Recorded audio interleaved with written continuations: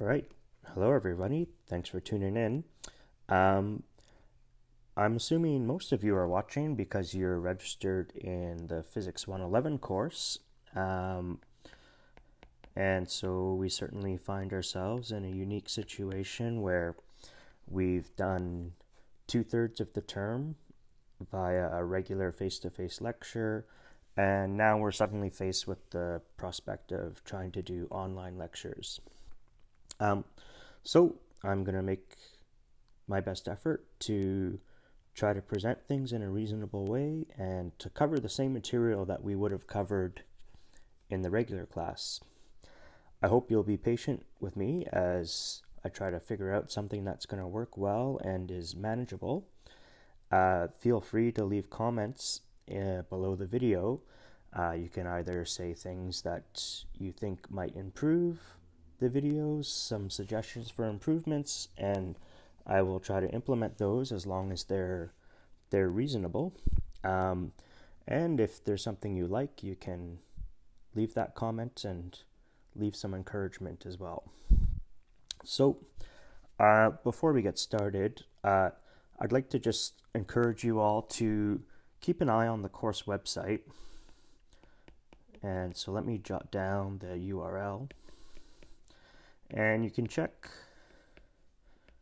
the website. So people.ok.ubc.ca slash J Bobowsk without an I, and then it should be Phys 121 dot html. And so, if there's any updates on how the course is going to run, uh, what the evolving situation is, then that's going to be posted on the course website. And so, I'd like to restrict these videos to really being on the lecture content, and so I'll do that the best I can. Uh, and so let's make the best of it. There, there are, certainly are going to be some actual advantages.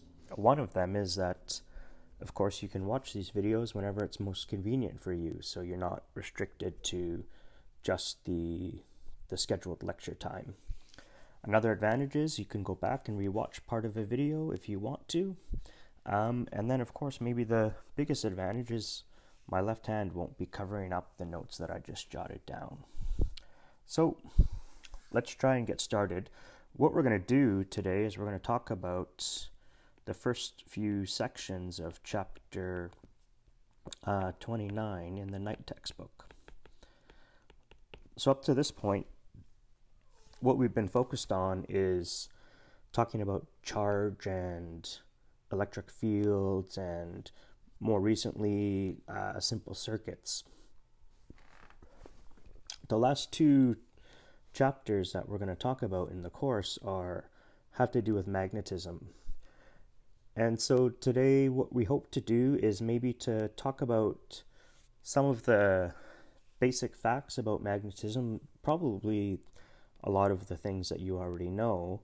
And what we'll do is we'll try to make some comparisons to charge and electricity and see what are the similarities and then point out what some of the differences are. So, the first type of naturally occurring magnetic material that was covered and has been studied for a long time and is still studied today was originally called lodestone. And so this is a material that I said, like I said, occurs naturally. Its um, chemical formula is Fe3O4. So it's an oxide of iron. And the more common name these days is magnetite. And so this is something that you can find or you can just go purchase on eBay or wherever. And um, so I want to imagine that what you had is two pieces of magnetite that were shaped like a rod. And so if we had these two rod-like pieces of magnetite, what we would find is that in one configuration, if we take the rods and put them end to end, that the two ends might attract one another. And so if I took one piece of magnetite, say leave the top one the same, and then the other one, I flip it over.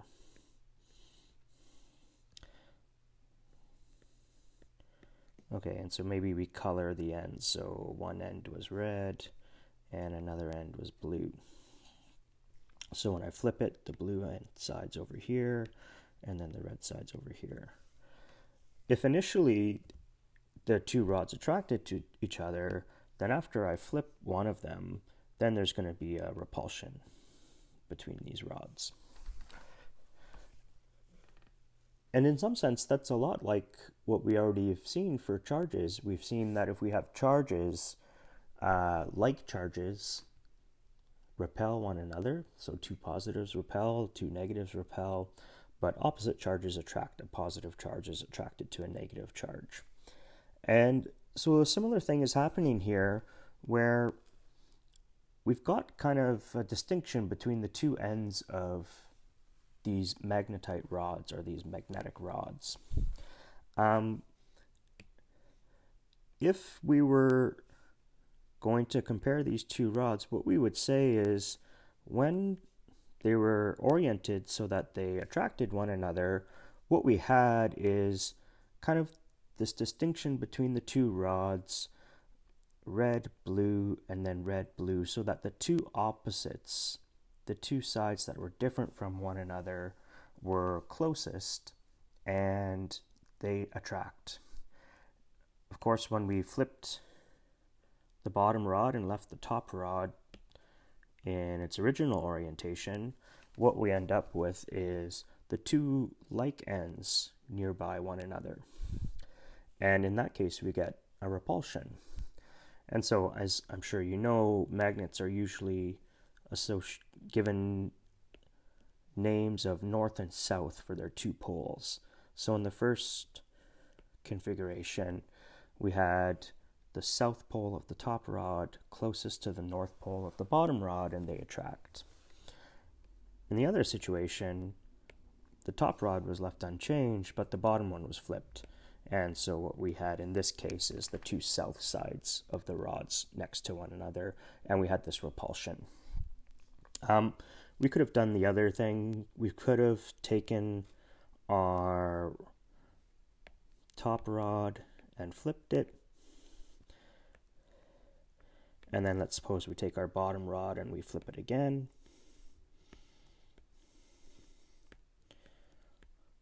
So that now what we would have is the south pole of the top rod at the top and the south pole of the bottom rod at the bottom and then the north poles close to each other. So blue is north and red is south. And what happens is we would again, we would see this repulsion. And so the conclusion of this is that opposite poles attract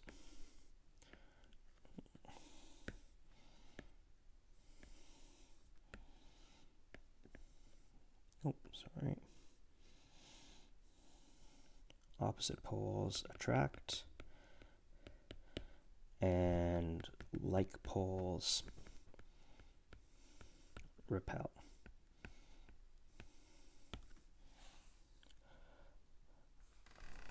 Okay, and so, like I said, that's very much like what we saw for charges.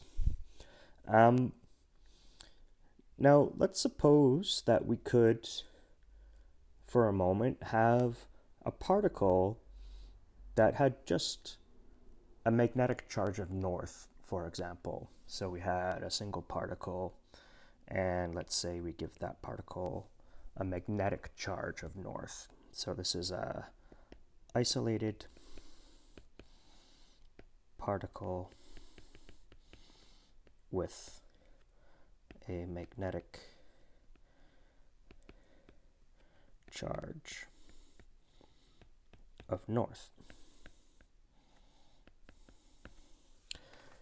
If we could do that, then what we could do is we could say, well, that charged particle produces a magnetic field, and for the north charge, the magnetic field is going to emanate out from that charge. And so we would have this point charge that would produce, instead of an electric field for a positive charge, it would produce a magnetic field. And for a point particle, that magnetic field would have a magnitude that would be proportional to 1 over r squared, just like for electric charges.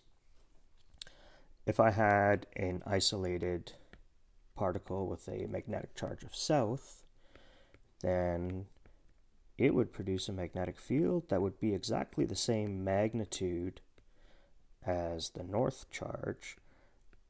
It would just have the opposite orientation. And if I had two isolated magnetic charges, they would attract one another. And the force of attraction would be given something like Coulomb's law. So the force between our magnetic charges would be proportional to, say, let's say QB1, uh, maybe let's say QM1. So this is our magnetic charge. Oh, sorry. I'll get used to this. This is the magnetic charge 1, and this is the magnetic charge of particle 2, and it would be proportional to the product of those charges uh, divided by the square of the distance between them. And if we could do all these things, then we could repeat everything we did for electric charges. We could, for example, uh, make a capacitor that we place some uh, north charge on one plate and a south charge on the other plate. And if we did that, if that was possible, then we'd have, say, a bunch of north on one of our plates, and we'd have a bunch of south magnetic charge on the other plate, and we would get a uniform magnetic field between our plates and we could store magnetic energy in our magnetic capacitor, just like we store electric energy in a electrically charged capacitor. Uh, other things we could do is we might be able to, if we had materials that had isolated magnetic charges that were free to move, like magnetic conductors or something like that, then you could make magnetic circuits, and that would all be very interesting and fun and neat. Um, However, let's talk about some of the differences now that you see between magnetic uh, materials and, say, electric charges. We started by talking about a, a chunk of magnetite. And so we, we imagined that we had this magnetite rod, and we gave one end a north pole and one end a south pole. Okay, so let's suppose we were to take this and we cut our magnetic rod in half so that maybe this might be one way to produce an isolated magnetic north and magnetic south charge. Okay, so we cut the thing in half.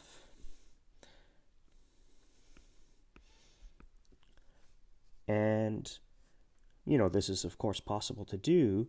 And what we find is we don't get isolated north and south poles. We now get two magnets. And each of them has their own north and south pole. The magnet that's been cut in two pieces, each of the pieces has a magnetism, an ability to attract, say, a piece of iron that's a little bit weaker now, but nonetheless, it's still an isolated magnet, each of them having north and south poles.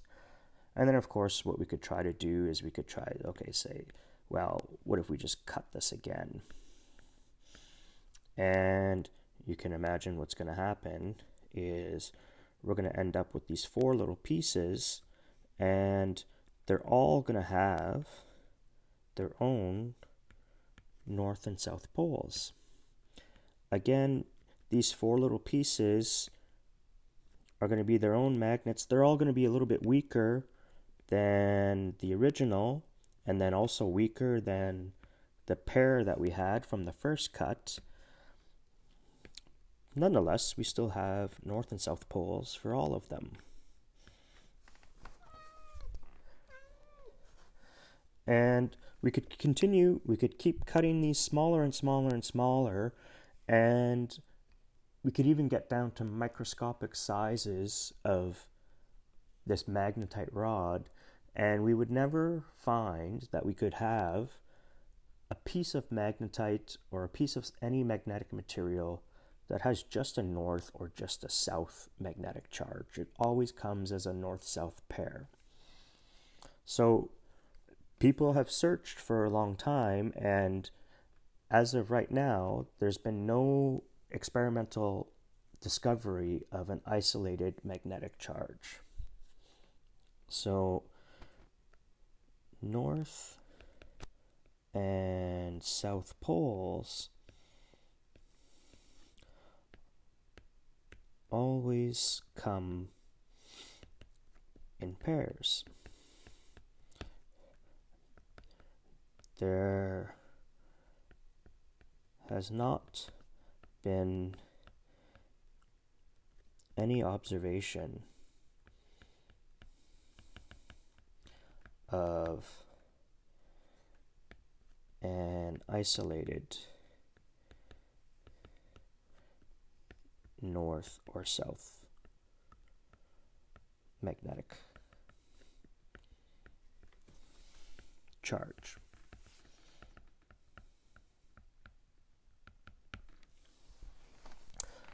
So that's one difference.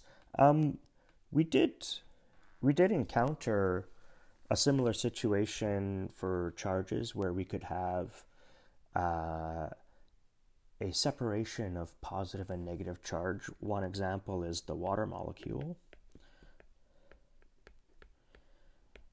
where we have a oxygen and two hydrogens. So this is O and H and H.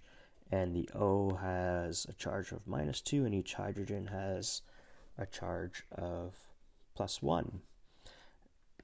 And so, in some sense, what you have is a separation of the negative and the positive, just like we had a separation of the north and south uh, poles of our magnetic rod. And so this we called a dipole. So the water molecule is an electric dipole, and our bar magnet is a magnetic dipole.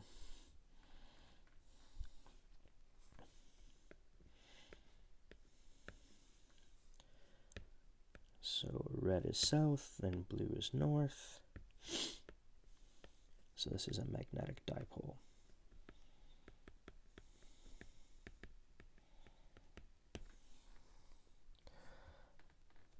Okay, but we know some properties about the electric dipole.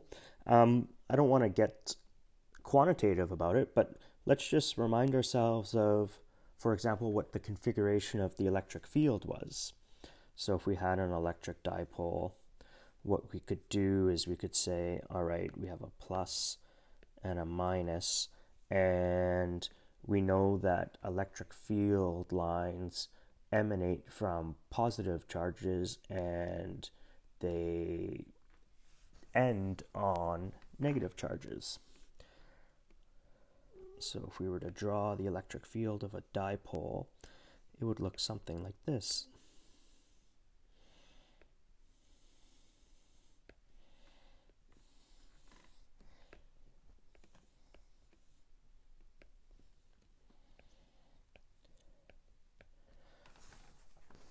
Okay. Well, in exactly the same way, the bar magnet behaves as a magnetic dipole. So here's north and south. And it produces a magnetic field. So here, this one's the electric field. A magnetic field emanates from the north pole and and so here's some magnetic field lines. And so these are B fields. Now, because we can't have isolated north and south poles, you never get a situation where a magnetic field doesn't loop back on itself. So, for example, we were talking about a charged capacitor, so we could have one plate charged negative, one plate charged positive, and in a capacitor, we're going to get electric fields that go from the positive to the negative. Sorry.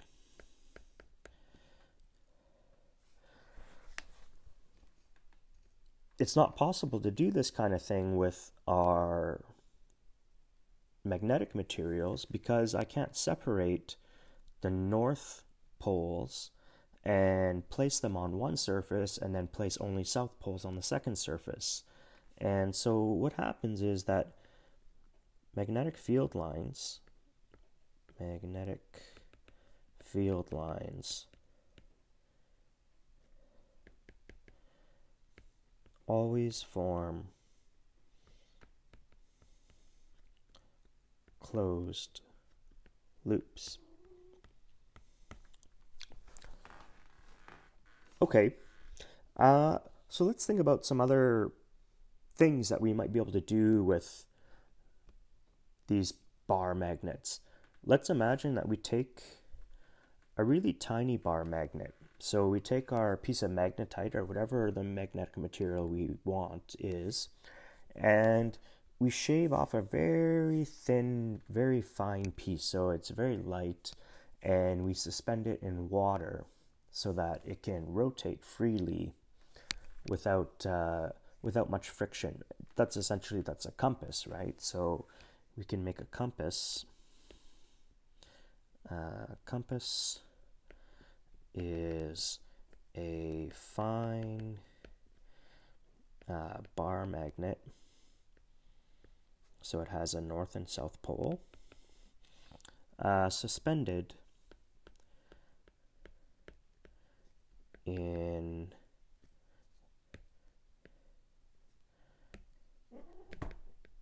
in a low friction say liquid of some sort. So it's free to rotate.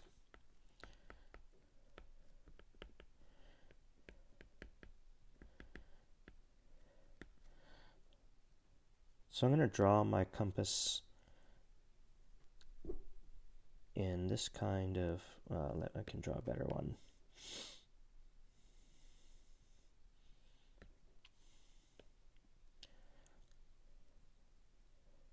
So one end is going to be north and one end is going to be south.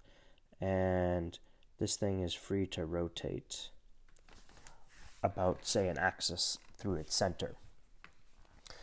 And of course, what you know is you can go buy this compass anywhere at Canadian Tire and you go out into the road and what happens is the compass rotates until the north pole points to geographic north. So compass needle rotates such that its north pole points to geographic north. So if you're here in Kelowna and you buy a compass, the needle points towards Vernon. Okay, so that's kind of interesting because we know that the north pole of a magnet is attracted to the south pole of another magnet. And so if we think of Earth then, and so here's here's Earth, right? And Earth has a magnetic field, and so what we could imagine is that inside Earth there's some kind of bar magnet.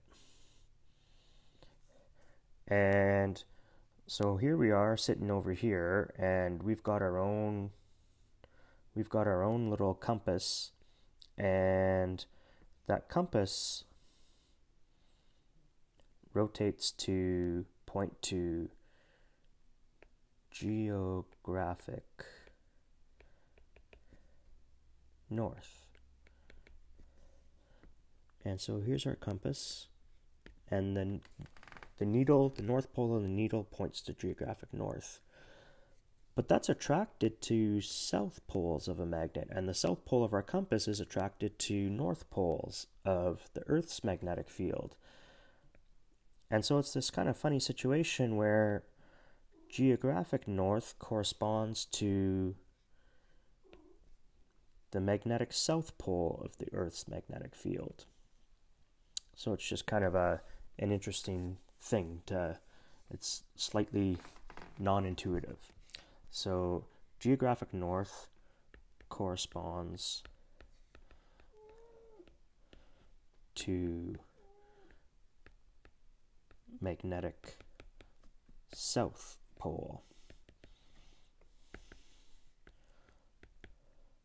of Earth's magnetic field.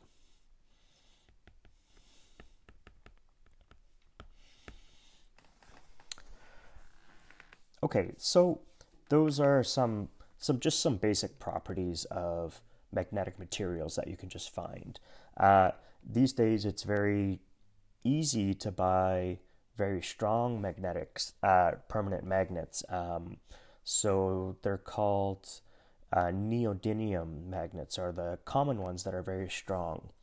Uh, so you can order these online from a bunch of different vendors, and uh, they're they're quite. It's something you wouldn't want to swallow because if you got close to a big chunk of iron, that that magnet might be strong enough to do some damage to your internal organs, for example. Okay, so in fact, what we're going to be most interested in is not the interaction of a magnetic material with another magnetic material. What we're in fact going to be primarily focused on is the interaction between uh, charges and magnetism. And so to see how that's going to work, I, again, I just want to start with a qualitative discussion that might shed some light on how the interaction between electricity and magnetism works. So, interaction between charge and magnetic fields. So I want to imagine a simple experiment. What we're going to do is we're just going to take a wire. So this is a, a good conductor, something like uh, copper. So we have a copper wire, and we're going to start with no current in our copper wire, and let's also say the charge on our wire is zero.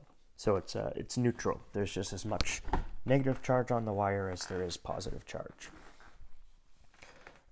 Okay, and then what we do is we're going to place a compass next to this wire. And so the arrow on my compass corresponds to the north pole of the compass needle. And so let's say I'll make it a bit bigger. And what we find is that the compass needle just points to geographic north. Compass needle points to geographic north. In other words, the presence of the wire with no current and no excess charge does nothing to the compass needle. It would have pointed to north whether the wire was there or not. Okay, so next what we'll do is we'll take our wire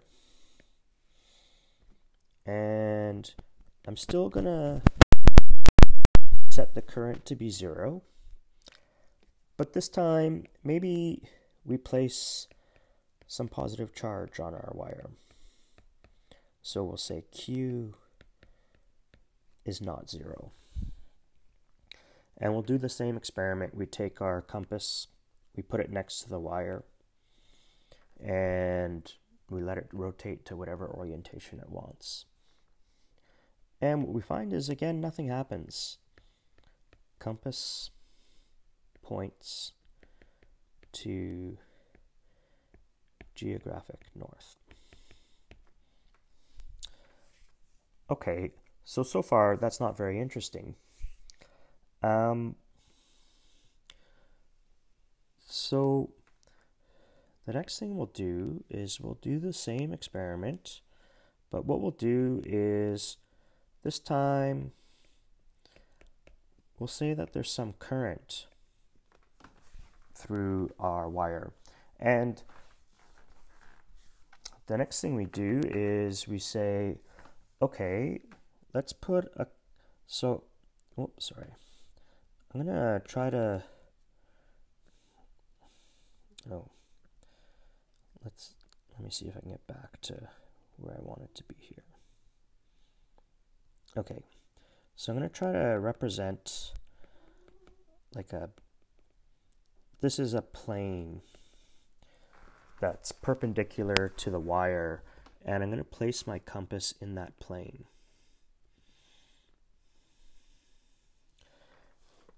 And this time what we find is that the orientation of the needle changes.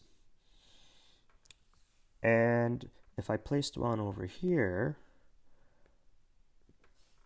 it would have a different orientation than the compass on the left hand side. And if I place one behind the wire, it also has a different orientation. And if I place one in front,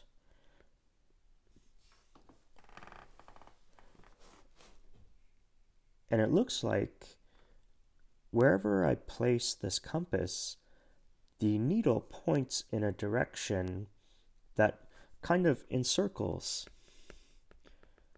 the wire. And of course, the only thing that can cause the compass needle to rotate is a magnetic field.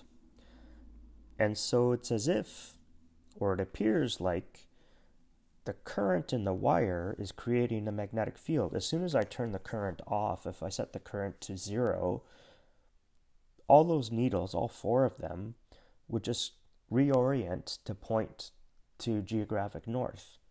And then when I turn the current back on, they will go back into the orientation that I've drawn here. And so a non zero current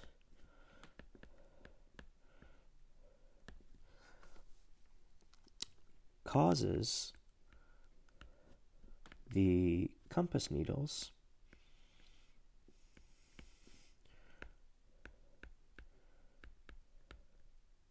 to change their orientation.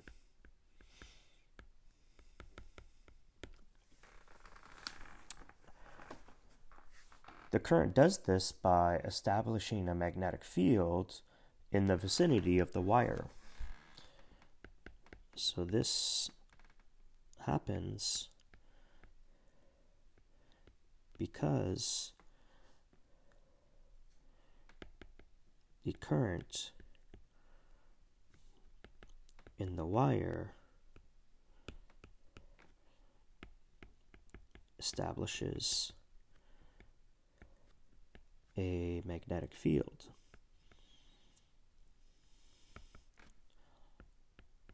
Around the wire.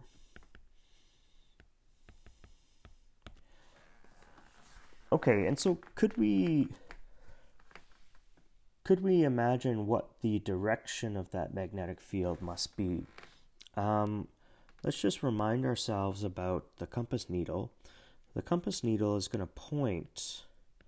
So if this is the north and this is the south, this would point in a direction that would. So if we had a south pole over here and a north pole over here, then this north pole and that south pole would create a magnetic field that points from north to south.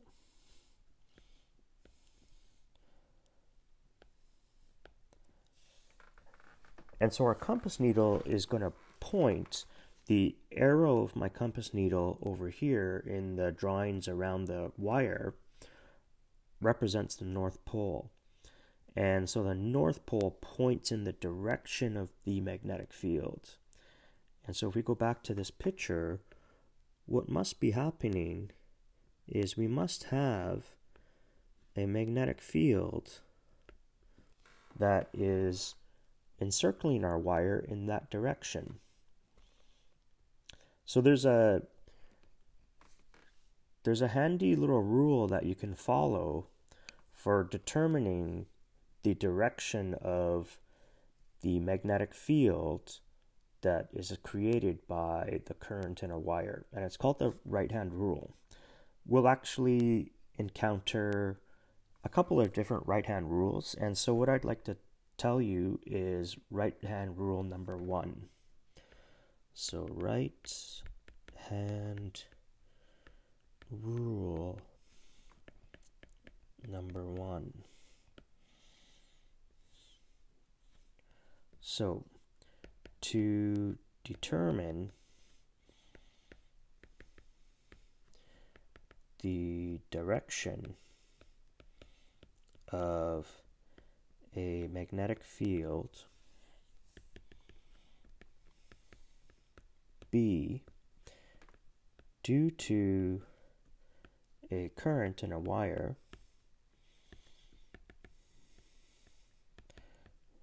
do the following.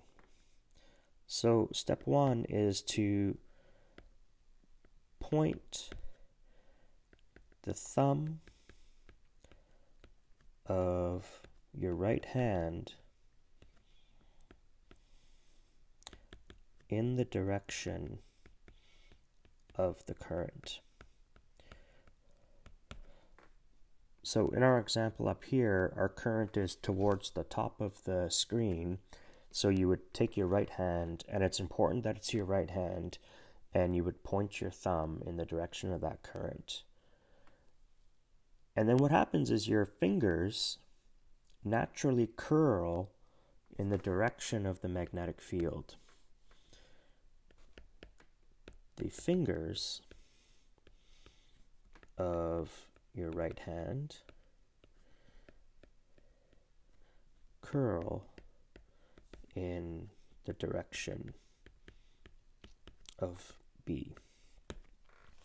So this is something in a face-to-face class I could just show you with my right hand how to do this, and I could ask you all to do that same thing. Um, so here we're faced with our first challenge. I'm going to try to draw this, and it's really going to test my ability to draw. So this is your thumb. And then what happens is your fingers curl around in the direction of the magnetic field. And so if this is the current direction, then the magnetic field is curling around the current in the direction of your fingers. Okay, so that's the first right hand rule what you could do is you could take compasses and you could try to probe the strength of the magnetic field at different distances away from the wire. And so, how could you do that? You could try to, uh, for example, push the compass needle out of the direction that it wants to be, and you could measure how hard you had to push the needle to change its orientation. And what you would find is that very close to the wire, you'd have to push harder on the needle to get it to move out of the direction of the magnetic field. When you moved further away from the wire, then you could change the needle's orientation which with less force. Okay? And so that's telling you that the magnetic field created by this current gets weaker as you move away from the wire. Okay, so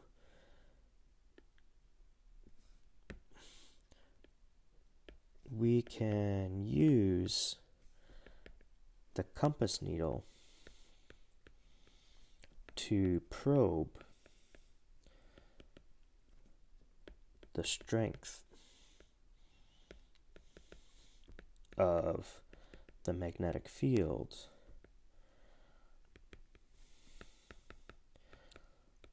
as a function of distance from the wire.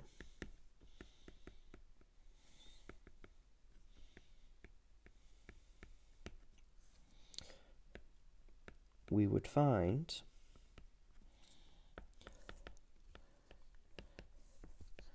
that B gets weaker, uh, weaker as we move further away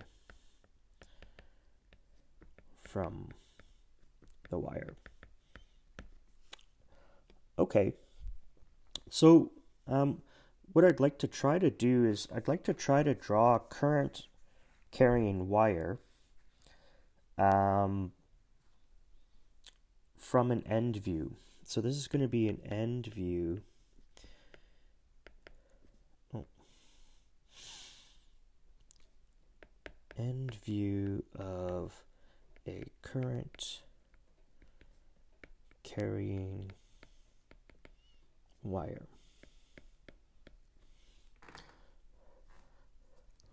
So what does the end of a wire look like?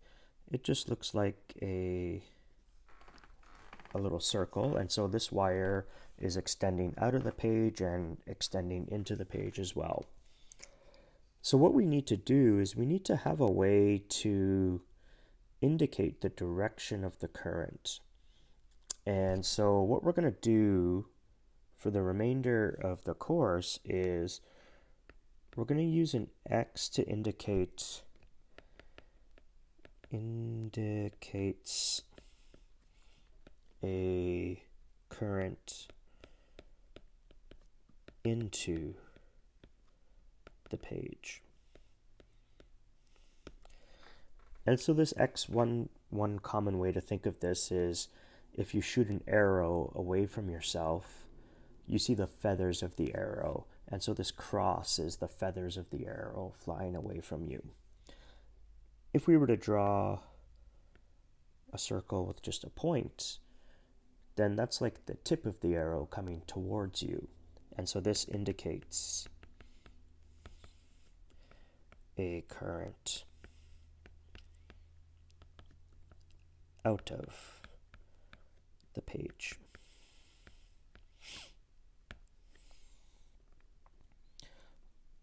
Okay, so let's draw, let's imagine that we have a current that's going into the page in this case. Okay, so if we did the right hand rule, what we would do is we would put our thumb in the direction of the current. So I'd point my thumb uh, as if it's going into the screen in the direction of the current and I would figure out which way do my thumbs, uh, my fingers naturally curl. And we would find that our fingers tend to curl uh, clockwise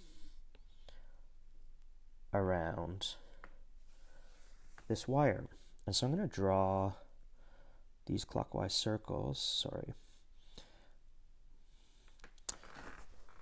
going around our wire. And what I'd like to do is I'd like to try to plot what the strength of the magnetic field might look like. So close to the wire, we're going to have a strong magnetic field. So I'm going to have these relatively long magnetic field lines.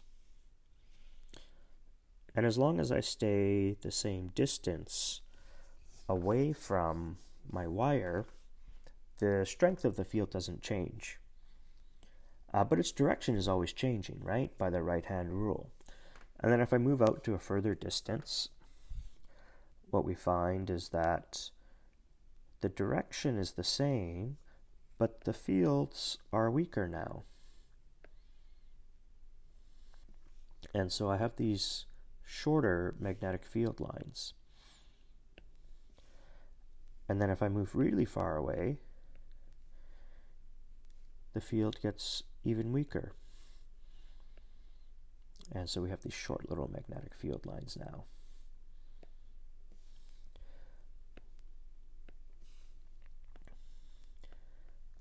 Okay, and so that's a qualitative picture of how the magnetic field looks and how it changes around a current carrying wire.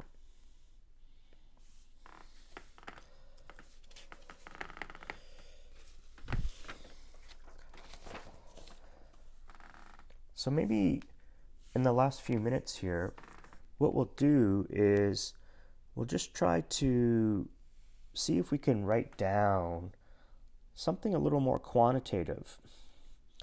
Um, and so the the topic is the Biot-Savart law.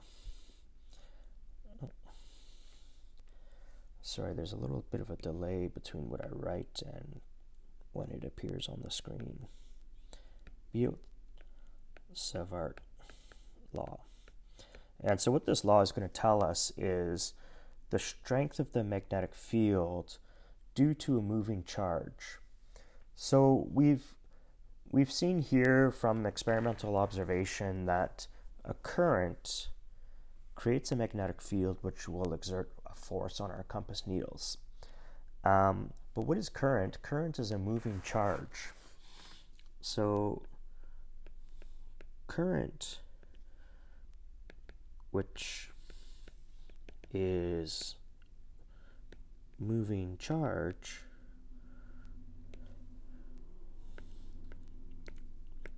creates a magnetic field. What the Biot-Savart law is going to do is it's going to tell us uh, what the strength of that field is. So the Biot Savart law tells us the strength. Oh, sorry. Uh, I've lost my ability to write here.